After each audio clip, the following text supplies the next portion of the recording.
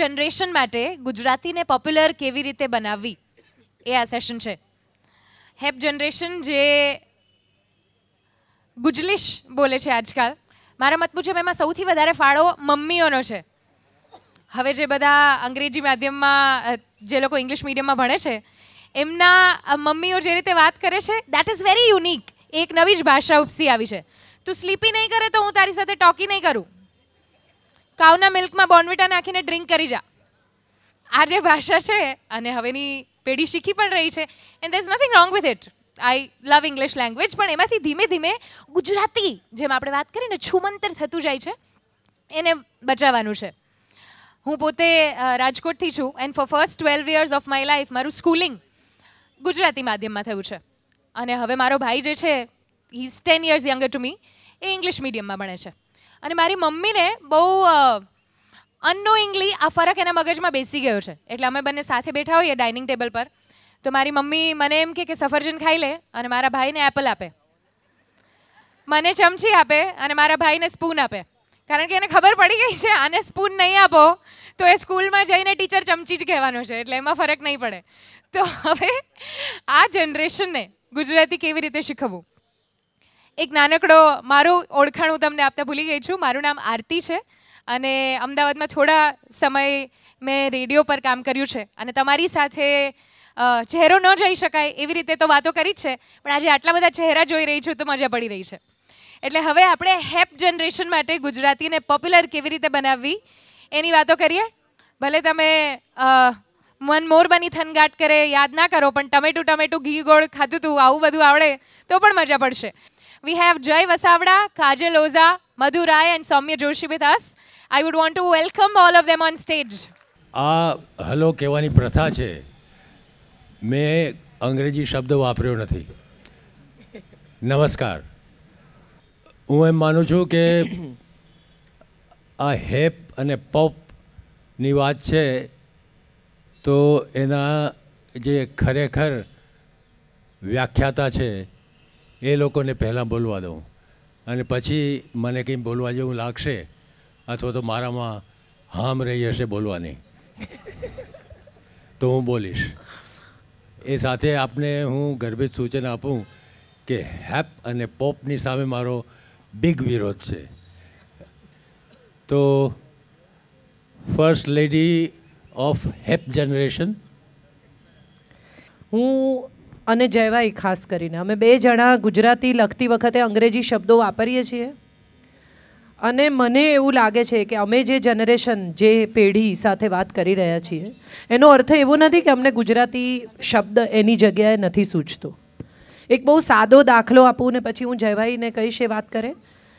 આકાર પટેલ મારો મિત્ર છે. એણે હમણાં વચ્ચે એક દિવસ મને એસએમએસ લખ્યો કે વર્લ્ડલી એટલે શું?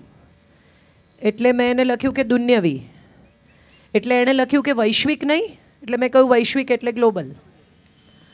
આટલું જો આપણને આવડતું હોય તો વર્લ્ડલી અને ગ્લોબલ બંને શબ્દ વાપરવાની આપણને છૂટ હોવી જ જોઈએ.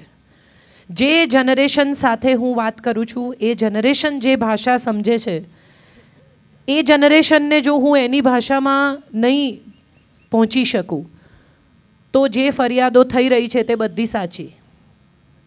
ટ્રીન ટ્રીન ટેલિફોનની ઘંટડી વાગે અને ફોન ઉપાડવામાં આવે ને પડદા ખુલે ને સિતાર જણણ થઈને વાગે, એવું બધું કંઈ હું લખતી નથી. હું સાદી વાત લખું છું, સેલફોન આવે છે, ટ્વિટર આવે છે, ડિવાઇસીસ આવે છે મારી નવલકથાઓમાં. હમણાં જે લખી રહી છું એ ધુમ્મસને પહેલે પાર અમેરિકાના બેકડ્રોપમાં લખાયેલી જુદા જ પ્રકારની વાત છે. થ્રિલર છે લવ સ્ટોરી છે જોડે. અને હું માનું છું કે નવી જનરેશનને બગાડવાનો ધંધો નથી આ. નવી જનરેશનને ગુજરાતી સુધી લઈ આવવાનો આ પ્રયાસ છે. એવો પણ એક આક્ષેપ છે કે હું જે પ્રકારની નવલકથાઓ લખું છું, એ કંઈ ગુજરાતી છે નહીં બહુ. પણ હું એવું માનું છું કે સ્ત્રીઓ હવે બધે જ જીન્સ પહેરે છે. સપ્તપદી મેં લખી ત્યારે મેં બહુ તીવ્ર વિરોધ કરેલો કે સ્વરૂપ ગુજરાતી સાડી શું કામ પહેરે? હવે કોઈ જગ્યાએ સ્ત્રીઓ ઘરમાં ગુજરાતી સાડી ગામડામાંય નથી પહેરતી.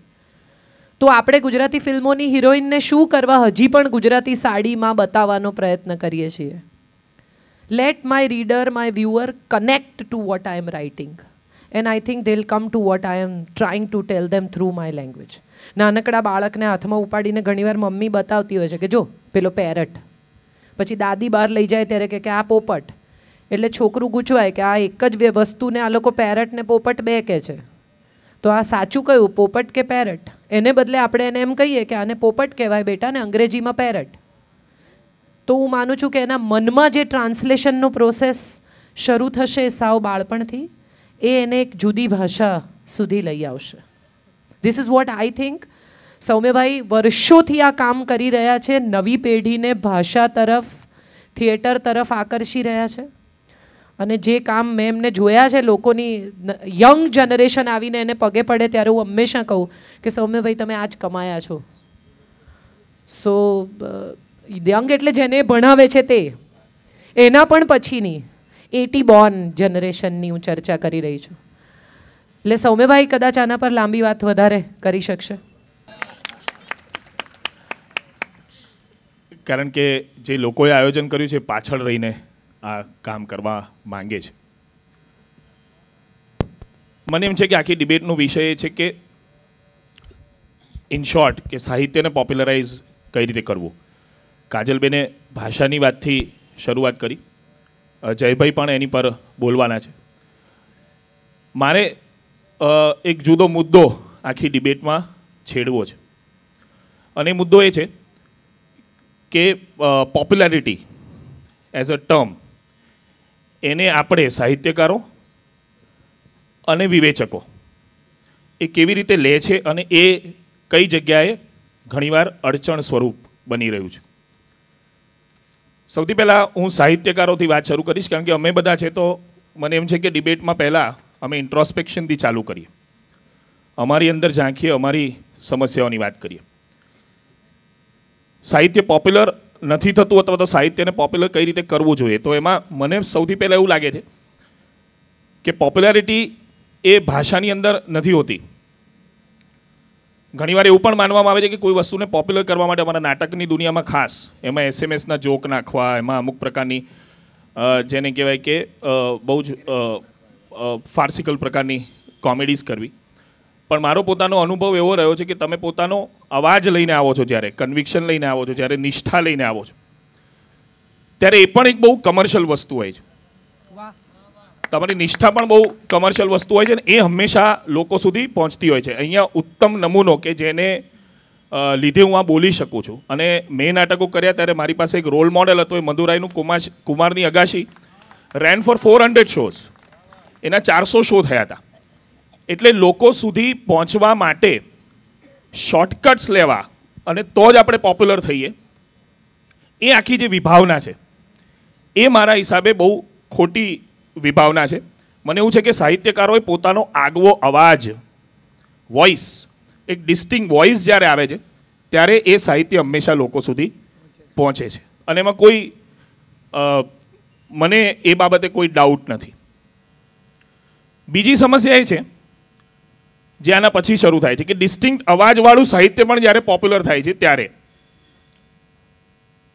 એને પ્રોપર પર્સપેક્ટિવમાં દ્રષ્ટિકોણ એક પરિપ્રેક્ષમાં મૂકવામાં શું આપણા વિવેચકો સફળ થાય છે કે નહીં.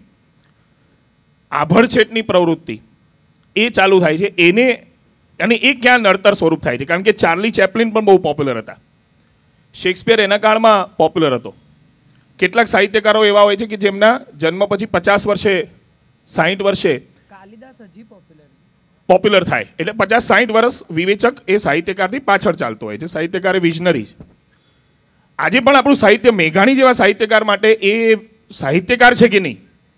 એની આપણા વિવેચકો ચર્ચા કરી રહ્યા છે. મને એવું લાગે છે કે જો મેઘાણી સાહિત્યકાર ન હોય તો આપણે બધા અહીંયા કીડી મકોડાઓ અને અમીબાઓ ભેગા થયા છે.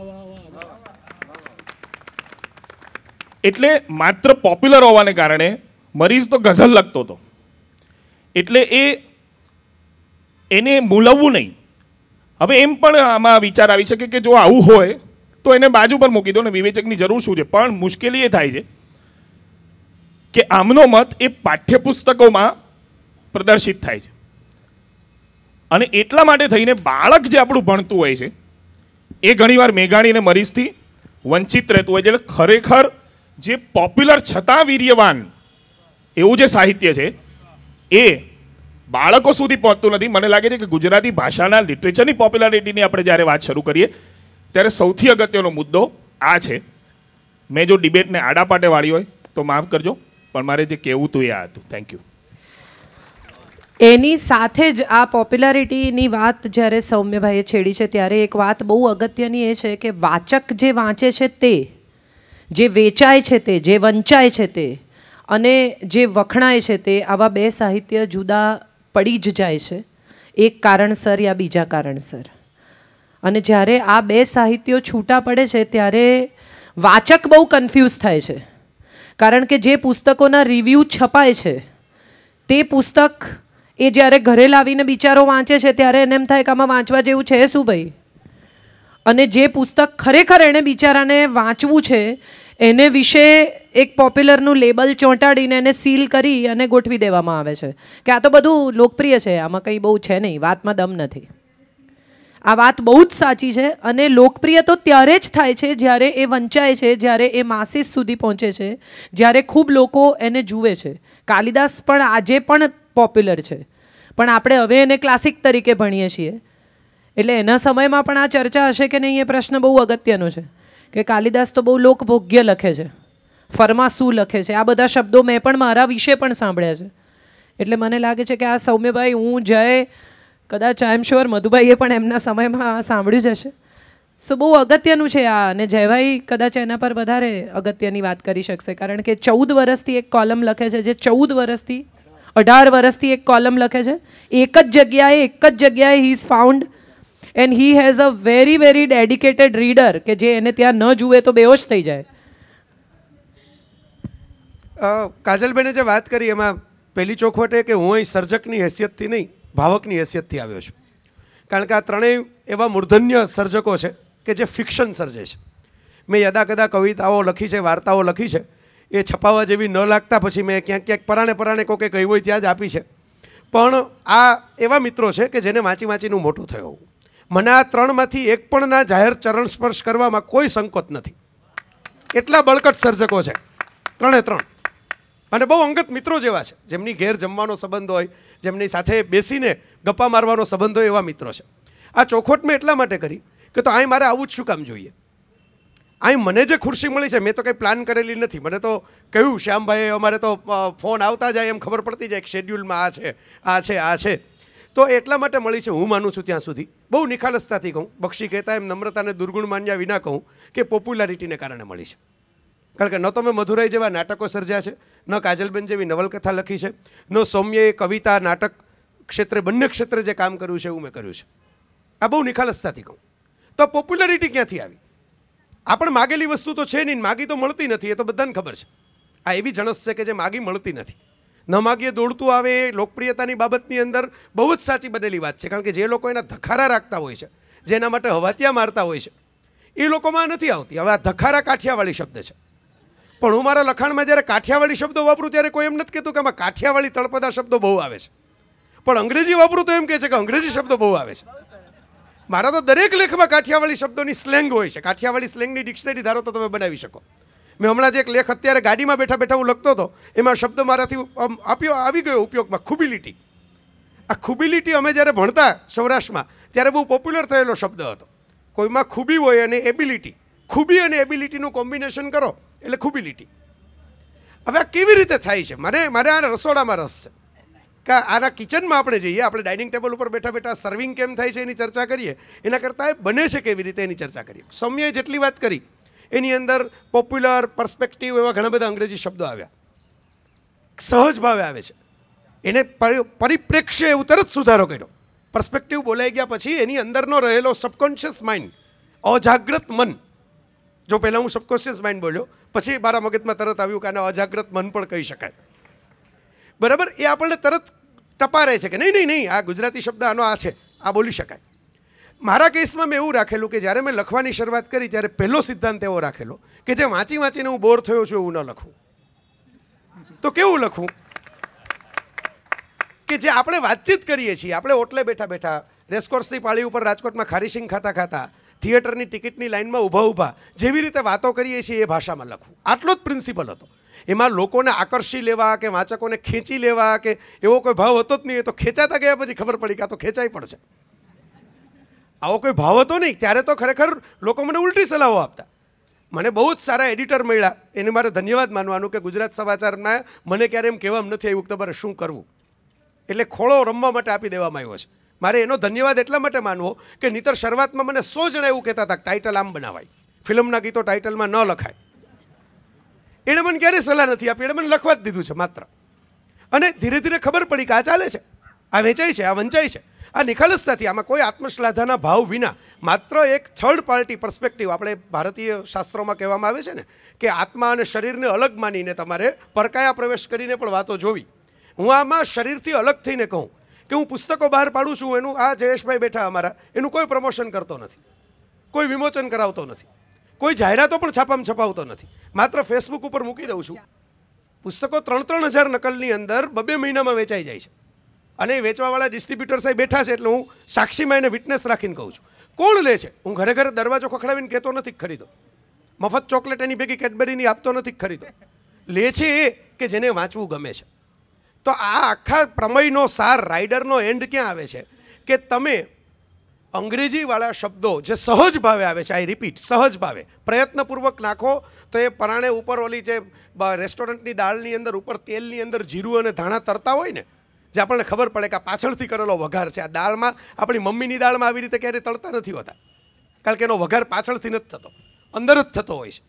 એટલે મમ્મીની દાળની જેમ આવે છે, આ અંગ્રેજી શબ્દ. પણ એ ગમે છે લોકોને. ગમે છે એટલે વંચાય છે. વંચાય છે એટલે વેચાય છે. આ આખી આખી એક સિક્વન્સ છે. કોઈને લાગે કે ન લાગે? કે આ બરાબર લાગે કે ન લાગે? હું એમ કહું છું કે જ્યાં જ્યાં થયું છે. ચેતન ભગત જ્યારે અંગ્રેજી લઈને આવ્યા ને ત્યારે અંગ્રેજીના કેટલાક ઉચ્ચભ્રુ લેખકોએ એમ જ કહ્યું કે આ પરાઠાવાળી ગલી એવું થોડું કે અંગ્રેજીમાં લખવાનું હોય. તમારે એમ કે એનું અંગ્રેજી કરો, વિક્રમ શેઠ જેવું લખો. નહીં, ચેતન ભગત ચાલે. જે કે રોલિંગને પણ આ ફેસ કરવું પડ્યું છે. જે કે રોલિંગે જ્યારે હેરી પોટરની સિરીઝ લખી, ત્યારે એને કોઈ વિવેચકોએ તો કન્સિડર કરી જ નથી. પણ જેના ઘરમાં પ્રાઇવેટ ડીવીડી પ્લેયર એ બાળકોએ વાંચ્યું જ છે. મારો કહેવાનો મતલબ સૌમ્ય સાથે ક્યાંક કનેક્શન પણ જોડે છે. તમારી અંદર મેં ટાઇટેનિક ફિલ્મ રજૂ થઈ, એ કાળ જોયો છે. જેમ્સ કેમેરુને ત્યારે ના પાડી હતી મારે કોઈ બીજી ભાષામાં ડબિંગ નથી કરવું. મારા રાજકોટ શહેરની અંદર જ્યાં ઉપલેટા અને ધોરાજીના લોકો છકડામાં ટાઇટેનિક આર- આરતી રાજકોટની જ છે એટલે એને ખ્યાલ હશે. છકડામાં બેસીને ફિલ્મ જોવા આવે, ત્યાં ટાઇટેનિક ફિલ્મ અંગ્રેજીમાં પચીસ વીક ગેલેક્સીમાં ચાલેલી. પચીસ અઠવાડિયા. આવડી લાંબી ફિલ્મ, અઢી કલાક લાંબી ફિલ્મ.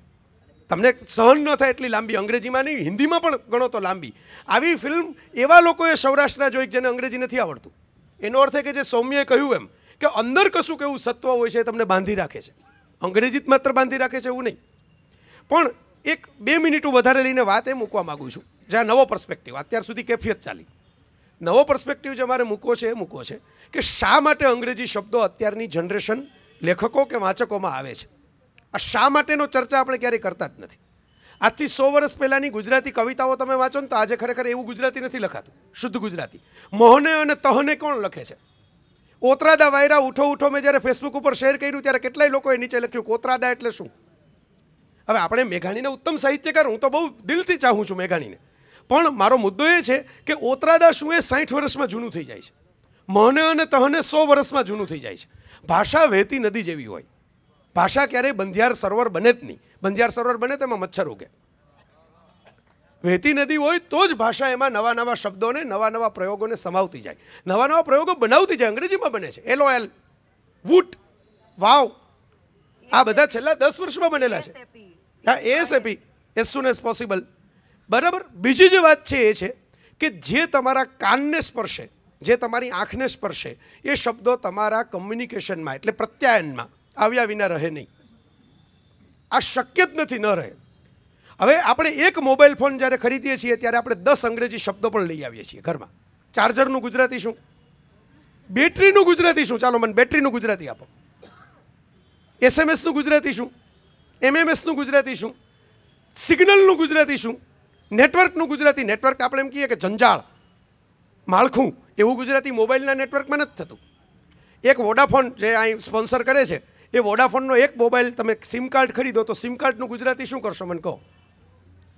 હજી રેલવેનું તો અગ્નિરથવાળું ભદ્રમ ભદ્રમાં થતું. સિમ કાર્ડનું તો ભદ્રમ ભદ્રય નથી કરી શકવાના.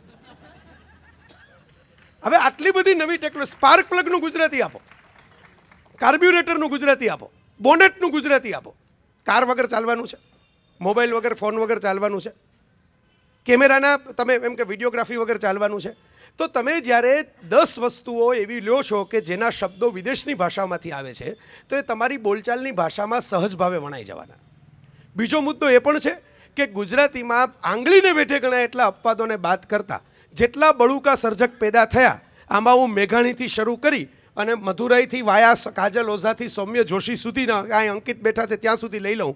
આમાંના એક પણ સર્જક એવા નહોતા જેમને સારું અંગ્રેજી આવડતું ન હોય. ખૂબ અંગ્રેજી વાંચનારા ગુજરાતીમાં સારું સર્જન કર્યું છે. સુરેશ જોશી, સુરેશ દલાલ, ચંદ્રકાંત બક્ષી, ઝવેરચંદ મેઘાણી. મેઘાણી તો અંગ્રેજી ફિલ્મો જોઈને ગુજરાતીમાં વાર્તા લખતા. પલકારાન પ્રતિમાઓ બે સંગ્રહો છે. આ બધાનું અંગ્રેજી સારું હતું. અંગ્રેજી સારું ન હોય ને, એવો સર્જક ગુજરાતીમાં કદાચ મરીઝનું અંગ્રેજી સારું નહોતું એવું મેં સાંભળ્યું છે. તો એવા એકાદ બે અપવાદને બાદ કરતા રમેશ પારેખનું પણ અંગ્રેજી સારું હતું. એ બોલતા નહોતા, પણ વાંચતા હતા ખૂબ. ઓકે, જો મરીઝનું બહુ સારું હતું એ મને માહિતી અત્યારે આઈ વિટનેસ તરીકે મળી. હવે મને આ કોયડો ઉકેલી દો કે એવું કેમ બને છે કે ગુજરાતીમાં ઉત્તમ સર્જકો જે પેદા થાય, એ એવા જ થાય છે કે જેનું અંગ્રેજી સારું હોય. જો વિદેશની એવી ભાષાઓ છે, મેં પોલિશ કવિઓ અને કવિયત્રીઓ એવા જોયા છે કે જેને અંગ્રેજી આવડતું જ ન હોય. જાપાનીઝ એવા કવિ અને કવિયત્રીઓ છે કે લેખકો છે કે જેને અંગ્રેજી આવડતું જ ન હોય. રશિયન છે જેને અંગ્રેજી આવડતું જ ન હોય. જર્મન છે હું ભણ્યો છું, જર્મનીમાં જઈને, જેને અંગ્રેજી વાત કરતા ના આવડે, ઈશારાથી વાત કરવી પડે. તો ગુજરાતીમાં એવું બને છે કે ગુજરાતીના જેટલા બળકટ સર્જકો છે, એમાંનો કોઈ એવો નથી કે ખાલી ગુજરાતી વાંચીને સર્જક થઈ ગયો હોય. અને એક વધારાની વધારાની વાત એ છે કે મોટા ભાગના સારા સર્જકો માતૃભાષામાં ભણ્યા છે. એમના બધાનું એજ્યુકેશન બેસિક ગુજરાતીમાં થયું છે બારમા ધોરણ સુધી. પછી જે ભાષામાં ભણ્યા એ ભાષામાં પણ સ્કૂલિંગ બધાનું ગુજરાતી. એગ્રી હું તો મારું તો સ્કૂલિંગ સૌમ્યના ફાધર અંગ્રેજીના પ્રોફેસર છે. સૌમ્ય અંગ્રેજી ભણાવે છે. ભણાવતા હતા સૌમ્યના ભાઈ પણ અંગ્રેજી અને પિતા પણ અંગ્રેજીમાં. મારો મુદ્દો એ નથી, હું અંગ્રેજી ભાષાને કંઈ ગ્લોરીફાય કરવાની વાત નથી કરતો. ગ્લોરીફાય એટલે વધારે પડતી આપણે આમ ઉજળી કરીને બતાવવી, માંજીને બતાવવી. હું એટલા માટે કહું છું કે મને ખબર છે ગ્લોરીફાઈનો આવો અર્થ થાય. હું એમ કહું છું કે તમે જ્યારે સર્જક તરીકે તમારો વિકાસ થતો હોય, એ તબક્કામાં અંગ્રેજીના પરિચયમાં આવો છો. અંગ્રેજીના પરિચયમાં આવો ત્યારે ઉત્તમ મેગેઝિન્સ અંગ્રેજીમાં મળે છે. ઉત્તમ વેબસાઇટ્સ અંગ્રેજીમાં મળે છે. ઉત્તમ ગદ્ય અને પદ્ય અંગ્રેજીમાં વાંચવા મળે છે. જગતની દિશાઓ ખુલી જાય એવું મળે છે. સંસ્કૃતમાં પણ મળે છે. તો મારા લેખોમાં તો સંસ્કૃત કૃતિઓ ઉપર મેં અઢાર વર્ષમાં જેટલું લખ્યું છે, હું જાહેર સ્ટેજમાં કહું છું, કોઈ સંસ્કૃતના અધ્યાપકે લખ્યું નથી. મેં અત્યાર સુધીમાં સત્યાવીસ જેટલી સંસ્કૃત કૃતિઓ ઉપર સ્વતંત્ર લેખ લખ્યા છે. ટ્વેન્ટી સેવન પણ લોકોને યાદ નથી રહેતું. કારણ કે સંસ્કૃતનો પ્રભાવ પડે એવું લોકોને લાગતું નથી. મૃચ્છકટિકમ ઉપર હું લેખ લખું એ યાદ નથી રહેતો. પણ શેક્સપિયર ઉપર લખું એ યાદ રહી જાય છે. કારણ કે શેક્સપિયરને માનસ સ્વીકારી લીધો છે. કારણ કે અંગ્રેજી આપણા દેશમાં આર્ગ્યુમેન્ટની ભાષા છે. જે લોકો ગુસ્સે થાય હા એટલે આર્ગ્યુમેન્ટની. જે લોકો ગુસ્સે થાય ઝઘડવા માંડે રસ્તા ઉપર એ બધા અંગ્રેજીમાં તૂટી પડે છે. આ આ એટલા માટે છે કારણ કે અંગ્રેજી આપણને બધાને એમ લાગે છે કે બોલવાથી સામેના માણસને છાંટી દેવાય એમ. પણ હું એનો હું એના મૂળમાં જાઉં છું કે શું કામ એવું થાય છે? એવું થાય છે એટલા માટે કે ખરેખર છેલ્લા બસો વર્ષનો જોઈએ. સંસ્કૃત સાહિત્ય છે પાંચ હજાર વર્ષ પહેલાંનું છે. છેલ્લા બસો વર્ષની અંદર ક્રિએટિવિટી અને ઇમેજિનેશનનું ખેડાણ અંગ્રેજીના માધ્યમે દુનિયાભરના સર્જકો સુધી પહોંચ્યું છે, એટલું બીજી કોઈ ભાષાના માધ્યમે પહોંચ્યું નથી. કોઈ ચાઇનીઝ વાંચીને ક્રિએટિવ નથી થયું. આ થાય છે એટલા માટે. આ પ્રભાવ ક્યાંથી આવે છે?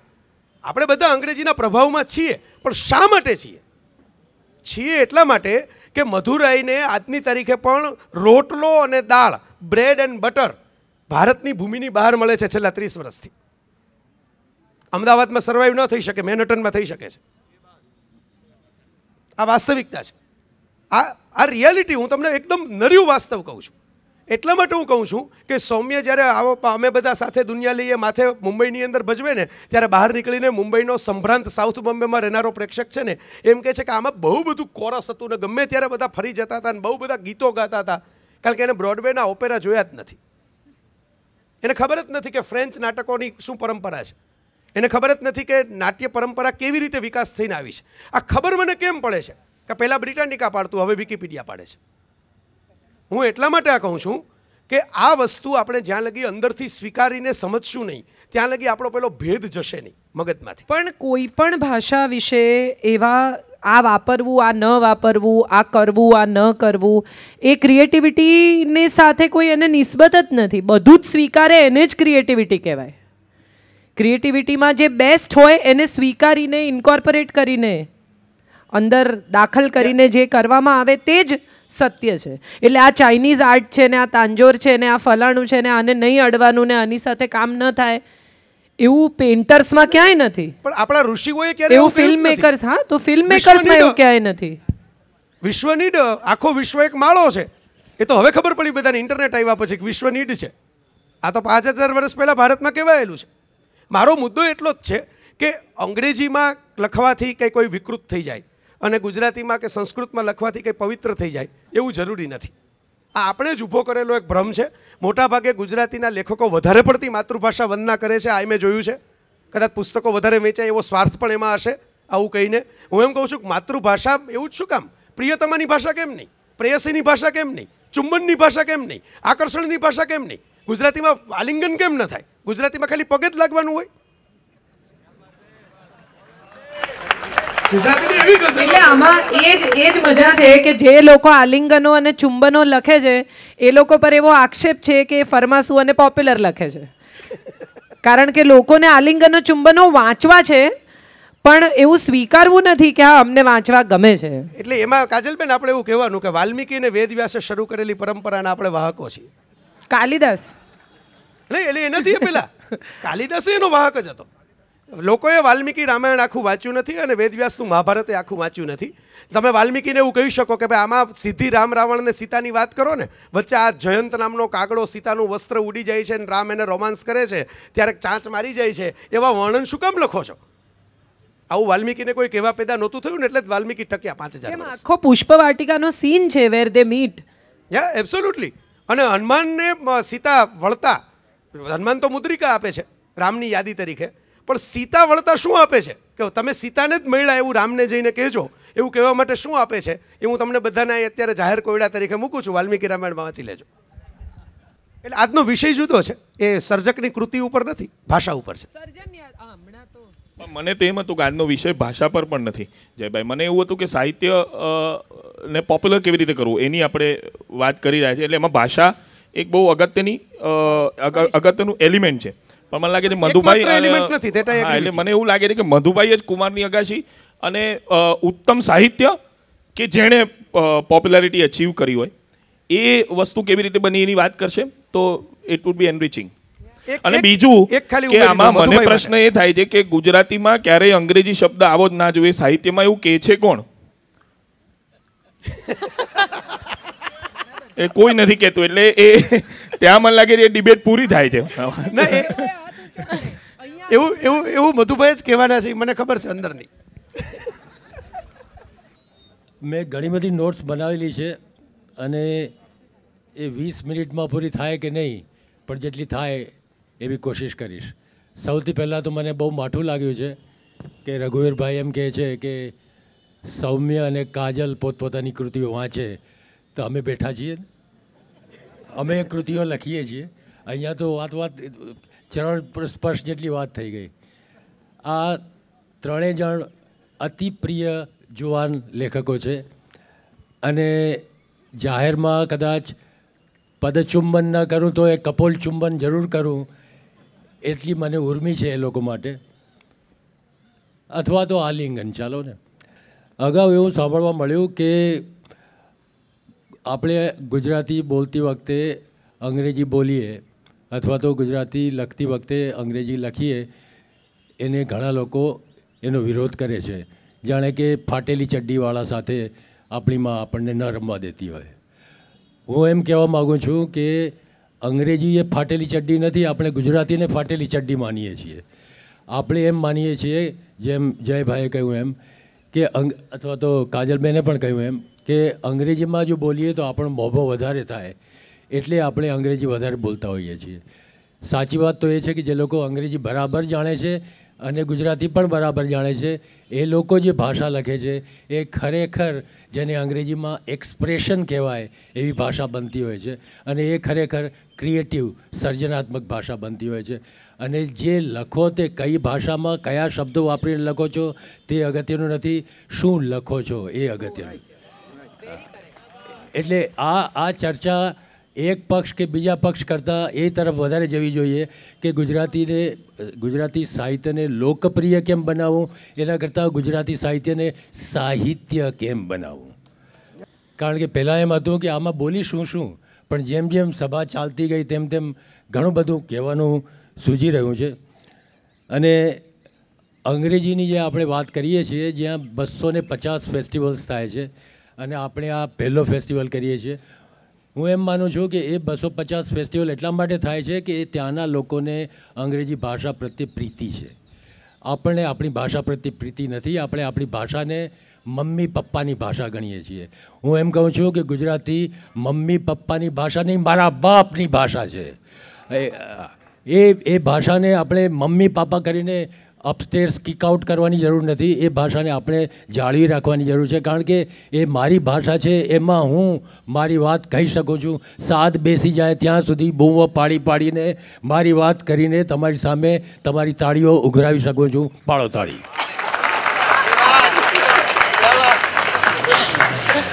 આપણે એમ માનીએ કે આપણે ગુજરાતી ભણતા નથી એટલે ગુજરાતી આપણને આવડતું નથી. એ વાત સાચી છે. આપણે ગુજરાતી ભણવું જ જોઈએ. મેં એક લેખમાં લખેલું કે ત્યાં તામિલનાડુ કે જ્યાં પણ જય, જયલલિતા રાજ કરતા હોય ત્યાં, ત્યાંની ભાષા તામિલ કે તેલુગુ કે જે હોય તે, એ ભણાવવાનું કમ્પલસરી એણે કર્યું છે, ફરજિયાત કર્યું છે. બારમા ધોરણ સુધી કે અમુક ધોરણ સુધી. એ માણસ, એ એ વિદ્યાર્થીની માતૃભાષા ગમે તે હોય, પ્રાંત, જે પ્રાંતમાં રહેતા હોય, જે પ્રાંતમાં બેસીને એના મમ્માને મમ્મીને પપ્પા દાળ રોટલી કમાતા હોય એ પ્રાંતની ભાષા એ લોકોએ શીખવી જરૂરી છે છે ને છે જ. એ જ રીતે મરાઠી શીખવાય છે, પણ ગુજરાતમાં એવી કોઈ આપણે, એવો હઠાગ્રહ રાખ્યો નથી. શા માટે? હું લેવા? એનાથી હું ફરક પડે છે. ગુજરાતી બોલો કે અંગ્રેજી બોલો કે હિન્દી બોલો? આપ, તું સમજી ગયો ને? એટલે એ જે તું સમજી ગયો ને, એ જે આપણી જે દાનત જે છે કે સામાન્ય સમજાવી દેવો. આપણે જે કહેવું છે, એ કઈ રીતે કહી શકાય, કઈ સારી રીતે, કઈ મીઠી રીતે, કઈ શણગારથી, કેવા અભિગમથી, અભિનિવેશથી કહી શકાય, એની આપણને ચિંતા નથી. હું સમજી ગયો ને. એટલે શાસ્ત્રીય સંગીતમાં કોને ખબર કેટલા રાગ છે? શાસ્ત્રીય સંગીતમાં કોને ખબર કેટલા તાલ છે, તબલા છે, આ છે. આપણે કોઈ એમ કહેતા નથી કે આમાં આટલું બધું અઘરું છે, એના કરતાં એને બદલે આપણે ખાલી આ જે ફિલ્મી સંગીત છે એ જ સાંભળીએ. શાસ્ત્રીય સંગીતના જલસા થાય છે, અત્યારે આ આ દિવસોમાં ચાલી રહ્યા છે, જે જલસા આખા ભારતમાં વિખ્યાત છે. કારણ કે એ લોકોને સંગીત પ્રત્યે પ્રેમ છે, કોઈ એમ નથી કહેતું કે હવે આ બધા આ કરવાની શું જરૂર છે? પણ આપણે એમ કહીએ છીએ કે આપણે ગુજરાતી ભાષા શીખવાની શી જરૂર છે? કારણ કે ત્યાં પેલે ઇન્ટરનેટમાં અંગ્રેજી ચાલે છે અને આખી દેશમાં બધી વાત સાચી છે. એક વકીલ હોય તે ગાર્ડનર પણ બની શકે છે. વકીલ પોતાના બગીચામાં જઈને ફૂલો વાવી શકે છે. એન્જિનિયર હોય તે રસોઈ શીખી શકતો હોય છે. તો આપણે ગમે તે ભાષા શીખી, એક વધારાની ભાષા શીખી લેતા હોઈએ તો વાંધો શું છે? એટલે મારું કહેવાનું એવું છે કે ભાષા પોતે બે, એના બે કામ છે. એક તો વાતચીતની ભાષા, જેને આપણે અંગ્રેજીમાં કમ્યુનિકેશન કહીએ છીએ અને ગુજરાતીમાં પ્રત્યાયન કહીએ છીએ. એટલે કે એસએમએસ કરી શકાય ઈમેલ કરી શકાય પીએલઝી કરીને પ્લીઝ લખી શકાય. કારણ કે એ વસ્તુ ખાલી મારે શું કહેવું છે એ તમને સમજાવવાની જરૂર છે કે નવ વાગે આવી જજો, કે તું સાલા ગાંડો છે, કે જે કંઈ કહેવું હોય તે. પણ જ્યારે આપણે લખવા બેસીએ છીએ, સાહિત્ય લખીએ છીએ ત્યારે આપણે એક એક કંઈક કહેવા માગીએ છીએ. આપણે આપણી જાતને છતી કરીએ છીએ અને જે ભાષામાં કરીએ, એ ભાષા આપણી ચાળી ખાય છે. અને એ ભાષાનું પોતાનું રૂપ છે. અને જો ક્રિએટિવ બનવું હોય તો એ ભાષાની અંદર ક્રિએટિવ બની શકાય છે. એ ભાષા પોતે એક એવી કળાની વસ્તુ છે જેને, જેમાંથી આપણે કંઈક મૂર્તિ બનાવતા હોઈએ છીએ. એ સામાન્ય વાતચીતની ભાષા રહેતી નથી. એટલે હું એમ કહેવા નથી માગતો કે આપણે વાતચીતની ભાષામાં સાહિત્ય ન લખાવવું જોઈએ. ગોડ ડેમિટ મેં પહેલી મારી નવલકથા ચહેરા વાતચીતની ભાષામાં લખેલી. મારી જે નવલકથા સૌથી વધુ લોકપ્રિય થઈ છે, એનું નામ કમબખત અંગ્રેજીમાં છે. આખી નવલકથાની અંદર નેવું ટકા પાત્રો ગુજલીશ ભાષા બોલે છે. પણ એ એક શૈલી છે. એક શૈલી તરીકે આપણે એ રીતે એ પણ એક ભાષાની આરાધના છે, જેમ જયભાઈ એટલે કાઠિયાવાડી ભાષા બોલે છે વાપરે છે. એવી રીતે એક શૈલી તરીકે એ પાત્રોની, ના, પાત્ર વર્ણન તરીકે એ ભાષા, એ એ જાતનું લખાણ એ અગત્યનું છે. અને એ, એના વિનોદનું પણ કારણ બને છે. જ્યારે મેં તો મારું નામ બદલી નાખ્યું છે ગુજરાતીમાંથી બંગાળી કરી નાખ્યું છે. એટલે મને એવો કંઈ હક નથી કે હું એમ કહું કે ગુજરાતી બોલતી વખતે એક પણ અંગ્રેજી શબ્દ ન આવવો જોઈએ. કારણ કે હું એવું હું જ એનો સૌથી મોટો ગુનેગાર છું અને એટલે એ ગુનો હું સ્વીકારું છું.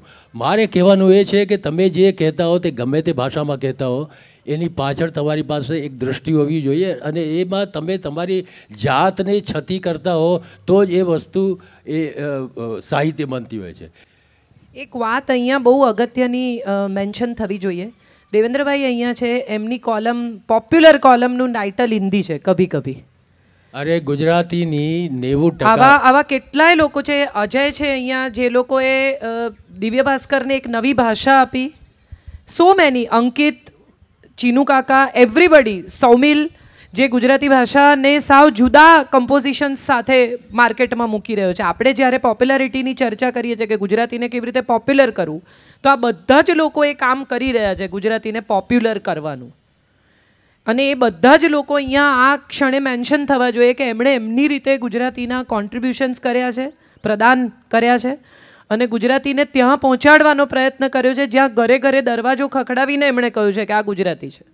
આ અમારું ગુજરાતી છે. આ વાંચો, આ સાંભળો, આ ખરીદો, આની સાથે જોડાઓ. એક એવી પણ ચર્ચા થઈ હતી જ્યારે આ સેશન વિશે અમે લોકો વાત કરતા હતા કે અંગ્રેજી ભાષાના અમુક શબ્દો એવા છે જેનો અર્થ સમય જતાં બદલાયો છે. The meaning of these words connotations જેને આપણે કહીએ છીએ, એ બદલાઈ રહ્યા છે. અને એવી મોકળાશ ગુજરાતી ભાષાના શબ્દોમાં ઓછી લેવાઈ રહી છે કે લેવાવી જોઈએ? એવું તમને લાગે છે that we somewhere need that upgrade હું માનું છું નિરંજનભાઈ ભગત એમ કહેતા હોય છે કે લેખકનું કામ વેશ્યા બનેલી યુવતીને ફરીથી કુમારિકા બનાવવાનું છે. એવી ભાષામાંથી આખું નવું કૌમાર્ય બહાર નીકળે અને એમાંથી કૌમાર્યની સુગંધ આવે તો એ નવું લખાણ કહેવાય ક્રિએટિવ રાઇટિંગ કહેવાય. પરમ મિત્ર અને આપણા સૌના પરમ આદરણીય સ્વર્ગસ્થ ચંદ્રકાંત બક્ષી કહેતા હતા. જ્યારે કલકત્તા હતા, ત્યારે સંસ્કૃતને ડેડ લેંગ્વેજ ડેડ લેંગ્વેજ કહ્યા કરતા હતા. પછી જ્યારે ગુજરાત આવ્યા અને પછી મુંબઈ સ્થાયી થયા, ત્યારથી એમને સંસ્કૃતનો ચસ્કો લાગેલો. અને એમ કહ્યા કરતા હતા કે સંસ્કૃતનો એમનો જે ક્રોધ હતો, કે આક્રોશ હતો, એનું કારણ એ હતું કે એમને ખોટા માસ્તરો મળેલા. સંસ્કૃત ભણાવવાવાળા. હવે એ એ વસ્તુ હું માનું છું કે ગુજરાતીના અધ્યાપકોને પણ લાગુ પડે છે. આપણે જો ગુજરાતી પ્રત્યે પ્રેમ હોય, એ એ તરફ કંઈક ધ્યાન આપવું જોઈએ. અને જ્યાંથી કક્કો ઘૂંસાડવા ઘૂં- ઘૂંટાવવામાં આવે છે, ત્યાંથી આની કંઈક શરૂઆત થવી જોઈએ.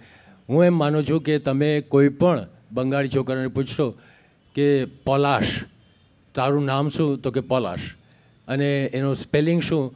તો પયો આકાર, લોય આકાર, અરે, એટલે જે કંઈ એનો જે પ લા શ અને પેલો તાલબ્ય શ એવી રીતે કરીને બોલશે. કારણ કે એમાં બધા જ સ અને શ જ બોલતા હોય છે. એટલે તાલવ્ય શ એવું એ લોકો એમાં પાર્થક્ય કરતા હોય છે. અથવા તો આપણે મદરેસાના કોઈ વિદ્યાર્થીને તમે પૂછશો કે મછલી કે હિજ્જે ક્યાં હે, તો મીમ ચે હે, લામ, યે, જે કંઈ થતું હોય તે એ એ કહેશે.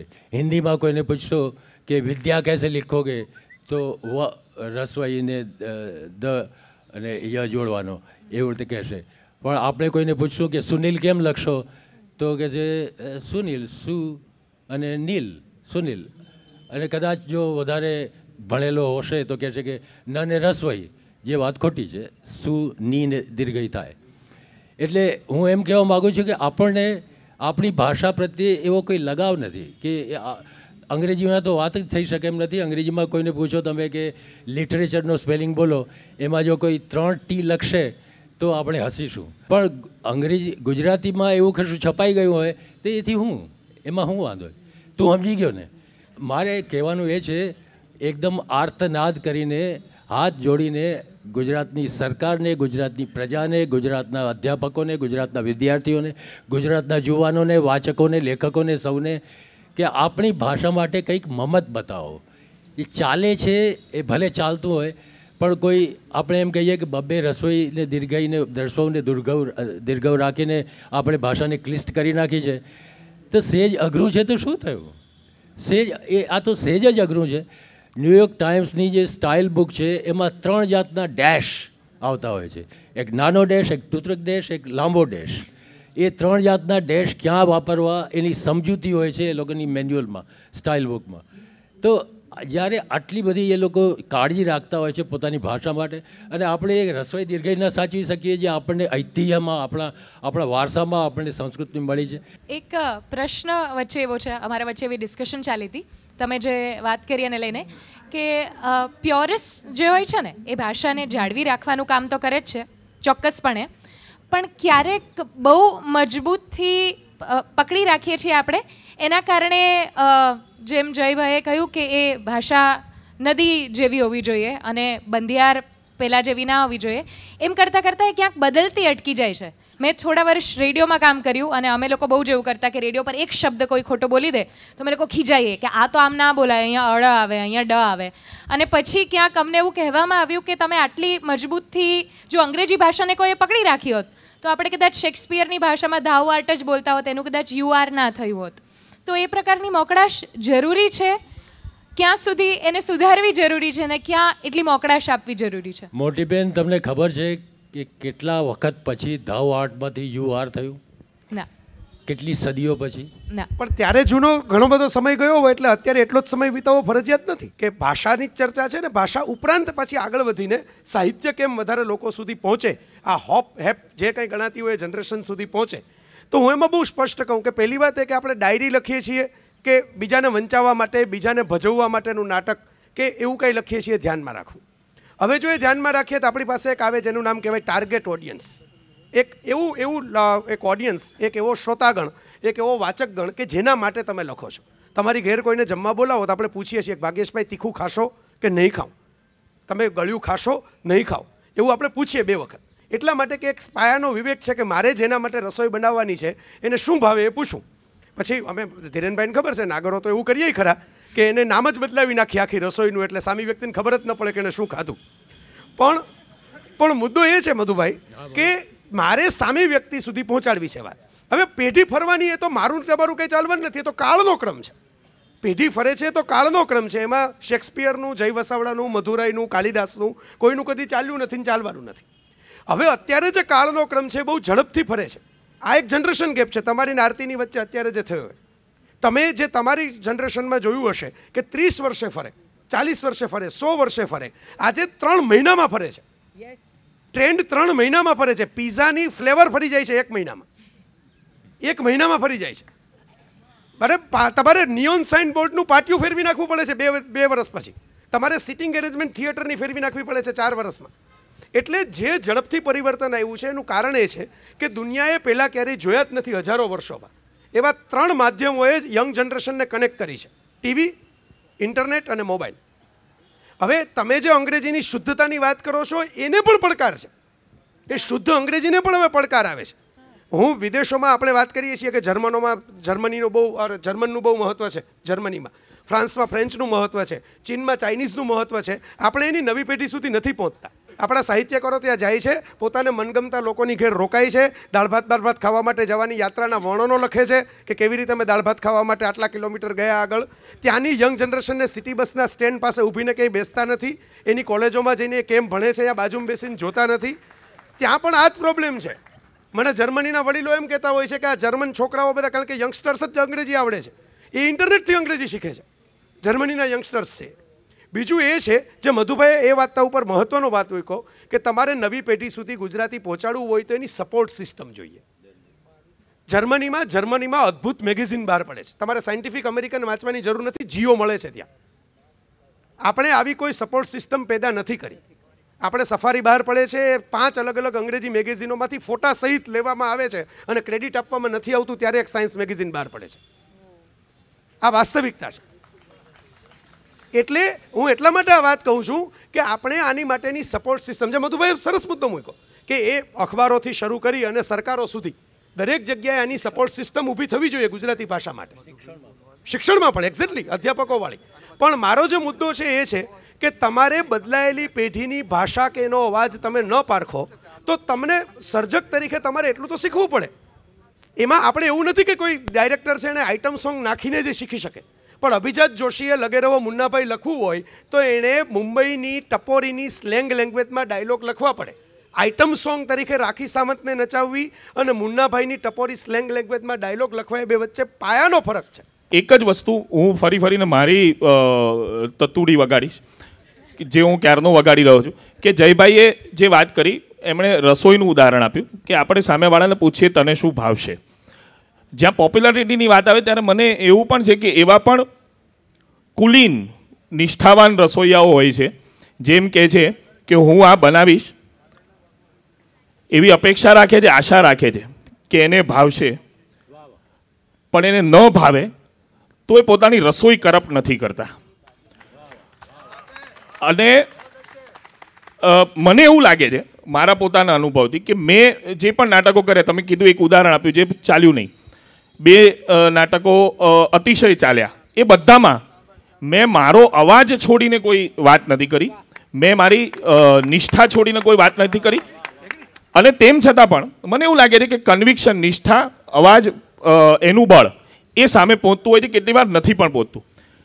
આ હું કહેવા માંગુ છું કે મને એવું લાગે છે કે સાહિત્યકારે આ કરવું જોઈએ કે જેમાં મેં મારી જાતને જ છતી કરી છે અને એ લોકોને ગમી છે. એટલે એ થવું જ જોઈએ મને એવું લાગે છે કે એના માટે આપણે ભ્રષ્ટ થઈએ, એની સાથે હું એગ્રી નથી થતો કે દરેક મધુભાઈ દરેક પોપ્યુલર થયેલી કૃતિ એને જોવાનો દ્રષ્ટિકોણ આ તો પોપ્યુલર છે એમ કરીને આભડછેટની જે પ્રથા ચાલે છે, એને કારણે મારું ફરીવાર કહેવું છે કે પાઠ્યપુસ્તકની અંદર આ વસ્તુ આવતી નથી એટલે બાળકો જે ભણે છે, એમાં you can choose what is popular and what is still great literature. There's so many things like that. That doesn't happen in your textbooks. And that's where the problem starts. મારું આ મંતવ્ય છે એટલે બહુ જ પોપ્યુલર બહુ જ ગમે એવી, બહુ જ પહોંચે એવી, સિદ્ધ થયેલી એવી વસ્તુઓ એ પાઠ્યપુસ્તકમાં એ રીતે તમે અધ્યાપકોનું નામ દીધું કે હું વિવેચકોનું નામ દઉં છું કે એ રીતે ન આવવા દેવી એ પણ એક બહુ મોટી સમસ્યા છે મને એવું લાગે છે કે આ બે સમસ્યાઓની વાત એ ક્યાંક થવી જોઈએ આ ડિબેટમાં સાહિત્યને આપણે ક્યાંક લઈ જવાની વાત છે. પોપ્યુલારિટી માટે આપણે ભ્રષ્ટ થવાની વાત નથી નથી કરતો. નથી જ. હું અને કાજલ જે વાત મૂકીએ છીએ એ મૂકીએ છીએ કે જે સૌમ્યએ કહી ને મધુભાઈએ કહી. બધાનો વાત શું છે? મધુભાઈએ કહ્યું કે પહેલાં તો એ સાહિત્ય હોવું જોઈએ. હું આ વાત સાથે સંમત છું. હું આ સાથે શબ્દોશો સંમત છું. સાહિત્યના પ્રેમી તરીકે હું અહીં બેઠો છું. એમને એમ નથી બેઠો ખાલી. ખાલી કોલમ રાઇટર તરીકે તો હું આવ્યો જ નથી. સાહિત્યના ભાવક તરીકે આવ્યો છું. બીજી વાત સૌમ્યએ કહી કે પોતિકો એક અવાજ એમાં પડઘાવવો જોઈએ. હું આમાંય સંમત છું. મારી ફરિયાદ એટલી જ છે કે પોતીકો અવાજ મૂર્ધન્યોએ નક્કી કરેલી ભાષામાં પડખાય તો જ પોતીકો કહેવાય. ના ના બિલકુલ નહીં. મારો પોતીકો અવાજ. ભેળવાળો હોય એને સૌથી ભેળવાળો હોય પહેલા- કાઠિયાવાડીની ભેળવાળો હોય તો એ મારો પોતીકો અવાજ છે. પણ એટલે તો જયભાઈ એ જ વાત ચાલે કે મધુભાઈના નાટકોમાં દરેક નાટકમાં ભાષા અલગ છે. આમ દરેક નાટકમાં. અને દરેક પાત્રમાં ભાષા અલગ છે અને એમાંથી અમે લોકો શીખ્યા છીએ. એટલે એમ જ હોવું જોઈએ. So no one is debating that એની સામે કોઈ વિરોધ નથી હવે એની હવે જો આ ગૃહિત આપણે બધાએ સ્વીકારી લીધું અહીં બેઠેલા બધાએ.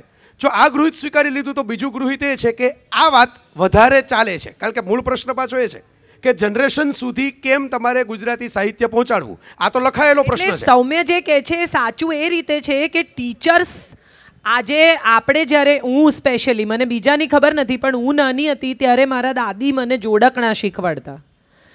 કે રવિ પછી તો સોમ છે અને બીજો મંગળવાર, આ તમને વીક શીખવાડે છે. લાલ પીળો ને વાદળી મૂળ રંગ કહેવાય, બાકીના બીજા બધા મેળવણીથી થાય, આ તમને કલર્સ શીખવે છે. આ આ જે જોડકણા માના ભાઈ તે મામા મામા આવા આવા આ જોડકણામાં રિલેશનશિપ્સ છે. આ વાતો હવે આપણે ભૂલી ગયા છીએ અને પાઠ્યપુસ્તકમાં પણ જે ભણાવવામાં આવે છે એટલું બધું સ્ટીલ છે. પેલા મરેલું બાળક જન્મે એવી રીતે ટીચર ક્લાસમાં આવે અને સોગ્યા મોઢાથી વાર્તા વાંચી જાય કે કવિતા વાંચી જાય અને પ્રશ્નોના જવાબ લખવાને માટે આપી દે, તો કઈ ભાષાને આપણે પોપ્યુલર કરી રહ્યા છે? આપણું બાળક પણ ગુજરાતી ભણવાથી અકળાય છે. એને પણ એમ છે કે ગુજરાતીનો પીરિયડ આવે તો મને કંટાળો આવે છે. કારણ કે પ્રાધ્યાપકો ટીચર્સ પોતે પણ આ ભાષામાં ઇન્ટરેસ્ટેડ નથી. એમને પણ એમ છે કે પતાવો, હવે મારે ભણાવવાનું છે. જે લોકોને ક્યાંય નોકરી નથી મળતી, એ હવે ટીચર થવા માંડ્યા છે.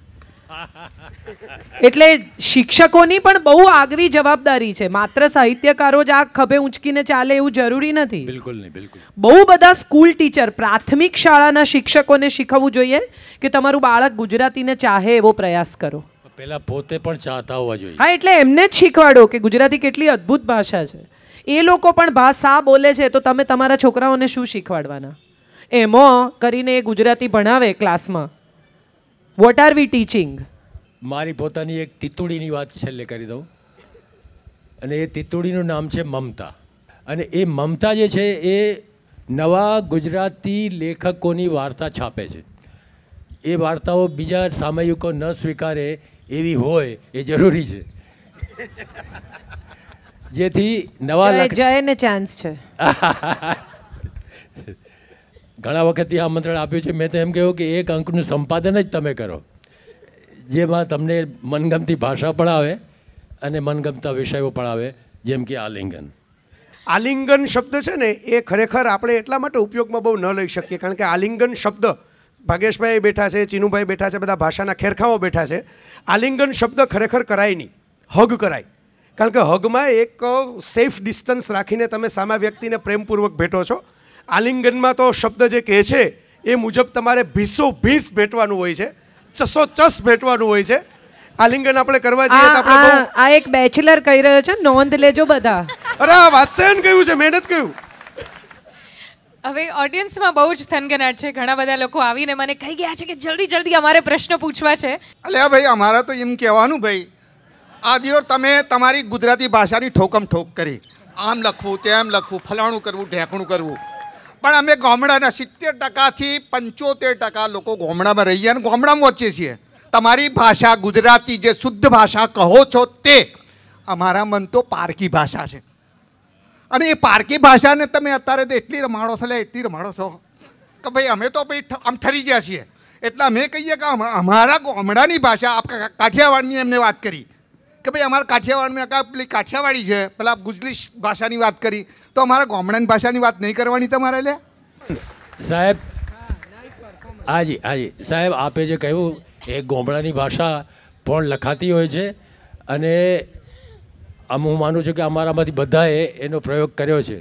મેં કહ્યું એમ, ગુજરાતી બહુ જ મોટી ભાષા છે એમાં આપણી ગોમડાની ભાષા કાઠિયાવાડી ભાષા ચરોતરની ભાષા અને બાકી દરેક પ્રદેશની ભાષા જે બાર બાર ગાઉએ બદલાતી હોય છે એ બધી ભાષાઓ વપરાતી હોય છે એમાં કવિતાઓ પણ થતી હોય છે.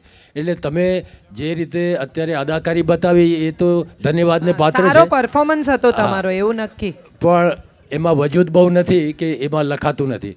અને મુરબ્બી આપ લખો ને મોટા શેઠ આપ લખો ને આ ભાષા કોઈની એકલાની નથી. હા બોલો. તમે એમ કહો છો કે હું લખું તમે કયું લખ્યું ગુજરાતીમાં? તમે કોમડાની ભાષાનું કહો હેડો મને. હા. તમે સંતુ રંગીલી જોયું છે? સંતુ રંગીલી છે ને એને ભાષાંતર કર્યું છે એમનું પોતાનું કશું નથી. પણ એમાં ભાષાઓ સાંભળી કે નહીં તમે?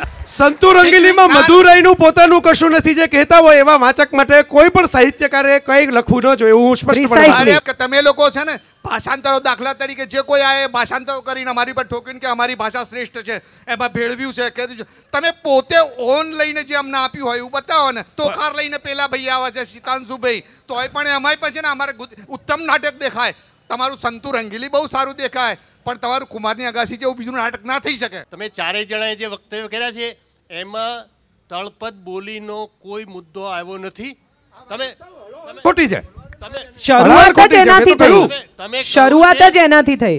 પણ ચંદ્રકાંત બક્ષીનું એક વિધાન ટાંકીને કહું નવલકથાકારે પાત્રો જેટલી ભાષાની તલવાર લઈ અને લડાઈ લડવાની છે.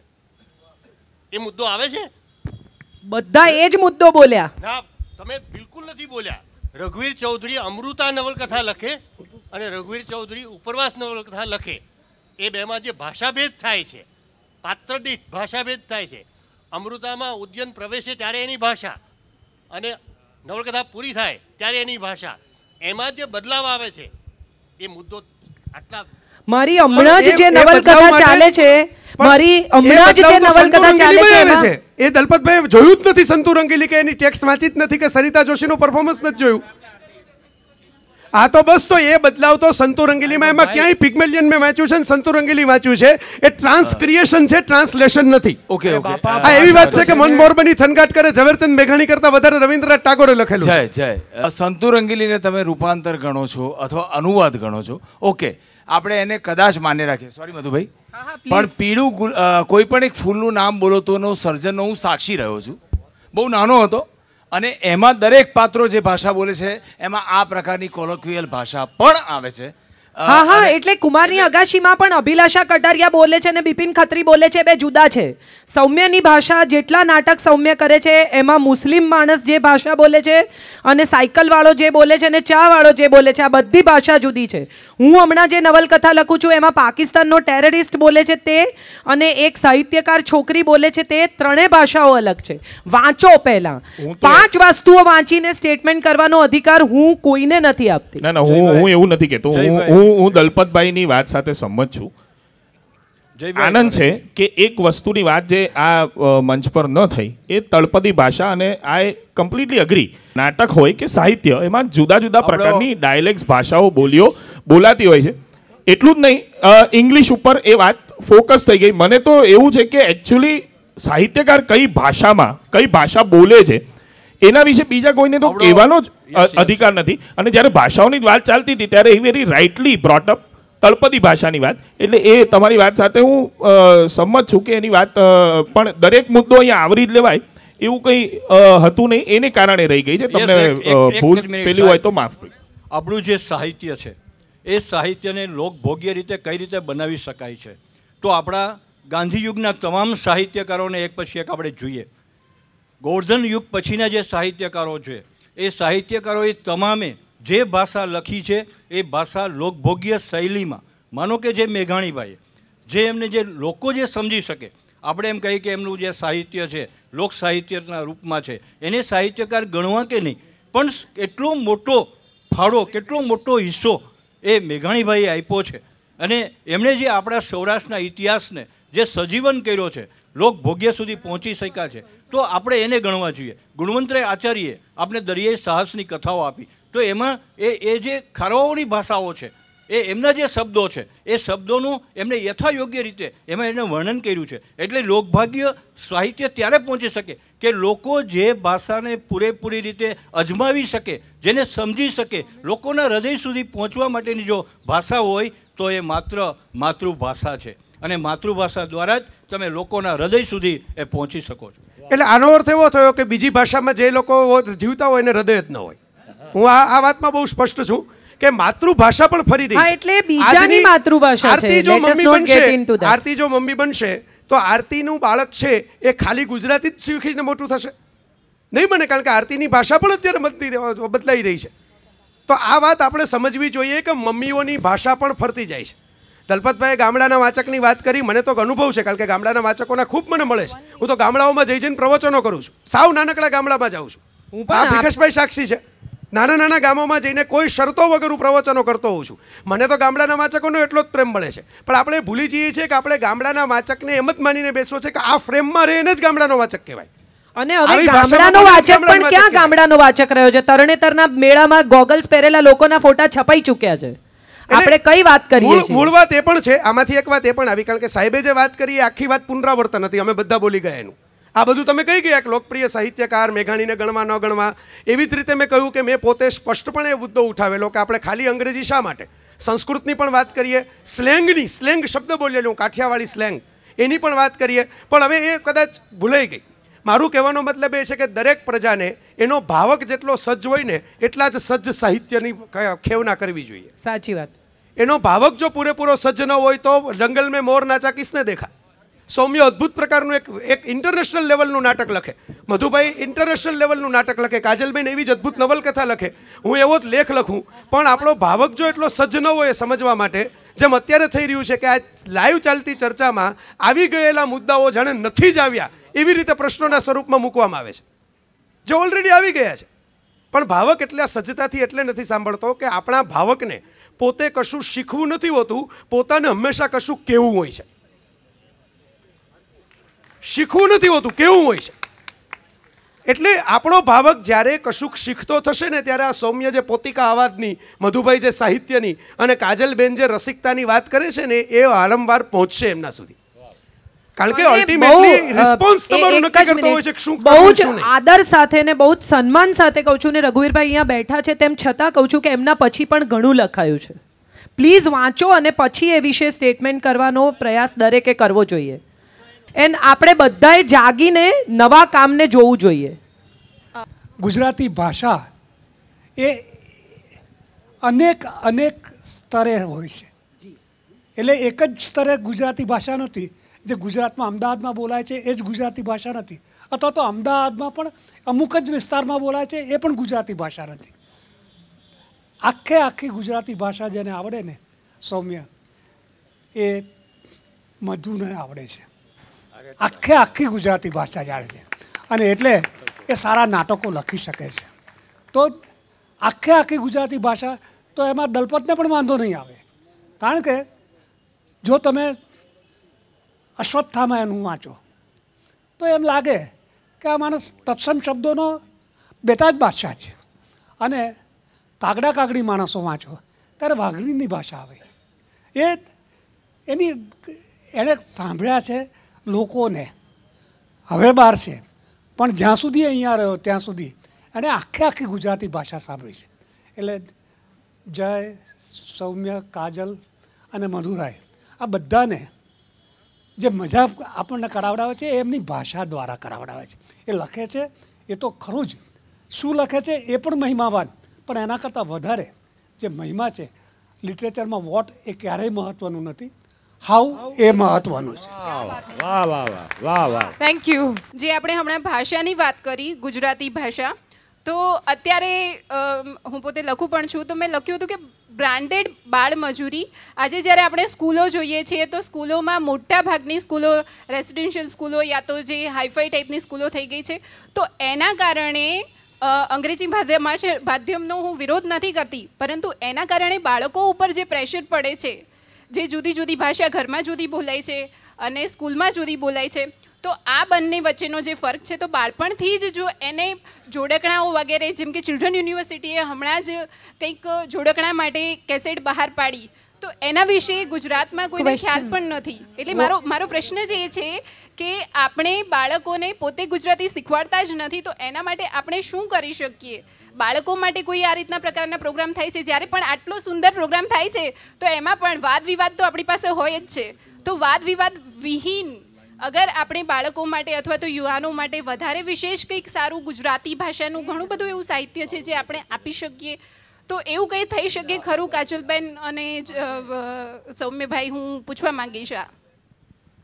કે ભાઈ, હવે બાળકો માટે આપણે આ ભાષાને જીવતી રાખવી શું કરવું?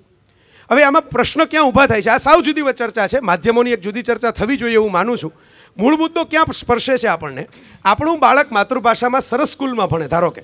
સરસ શિક્ષકો એને મળે. એના પછી પણ જ્યારે એને કહેવાતું હાયર એજ્યુકેશન લેવાનું થાય છે, ત્યારે એને ફરજિયાત અંગ્રેજીમાં જવું પડે છે.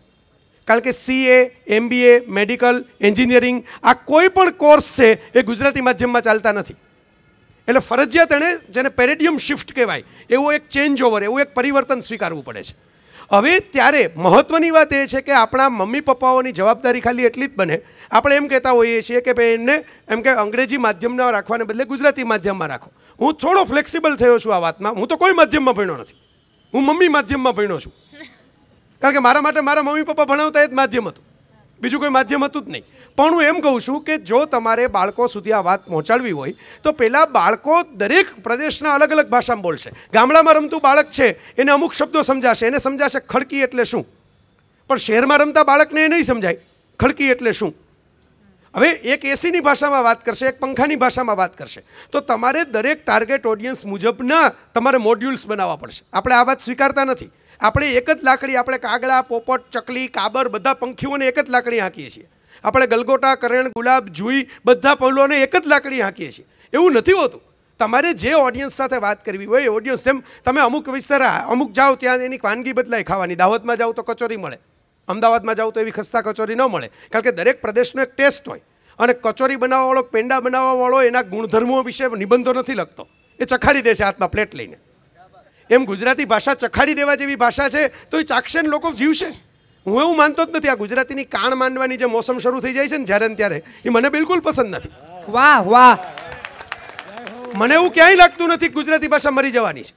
કારણ કે ગુજરાતી ભાષા મરી જવાની હોત તો આ પુલ ઓવર લેવાના પૈસા મારી પાસે ન હોત આ ઘડિયાળ લેવાના પૈસા મારી પાસે ન હોત આ કાર જેમાં બેસીને હું આવ્યો એ ચલાવવાના પૈસા મારી પાસે ન હોત.